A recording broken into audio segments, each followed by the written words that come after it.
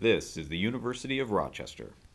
This fossil, in particular this fossil, was uh, discovered in, in 2006. Um, it was part of uh, several expeditions that we've had to the high Canadian Arctic.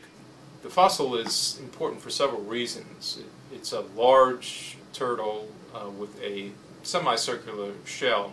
That's important because it then places it in a part of turtles that are uh, fossil turtles that have their affinities with a group in Asia. And it's really the northernmost occurrence of that uh, group of fossils in North America that we have known for a long time um, probably had their origins in Asia, but this is the, really the first fossil is a link that actually shows how that interchange may have taken place. We know from the fossil assemblage that um, during this time, about 90 million years ago, it was extremely warm, um, a time of ultra-thermal, probably uh, greenhouse conditions due to volcanic outgassing.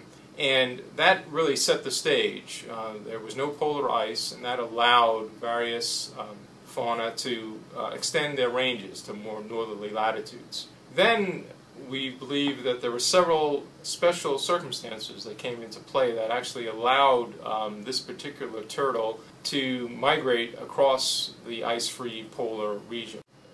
At this time, the Arctic Basin was um, less, um, less open to the other world ocean um, as compared to today. That is, it was a much more restricted ocean basin. And there are large rivers that actually flow into the Arctic Ocean and that supply fresh water. So uh, for this reason, there would have been um, a freshwater input and we believe a freshwater cap on top of the Arctic Ocean.